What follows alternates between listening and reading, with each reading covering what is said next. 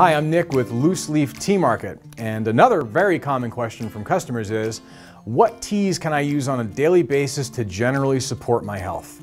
And to answer that question, we created our Wellness Collection of teas. The Wellness Collection is designed to support you through cold and flu, to help you relax, to support circulation, digestion, your skin, um, all of these blends are made with herbs that are generally regarded as safe. They're made with organic ingredients, handmade in small batches by us right here at our own location.